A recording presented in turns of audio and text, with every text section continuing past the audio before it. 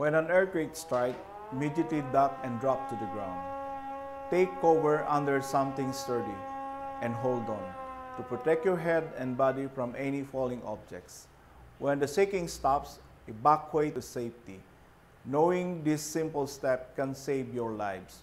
We are the Marikina City DRRM officers. Teach others and share your duck, cover, and hold video using this hashtag. Be ready, be safe. Make zero casualty a reality.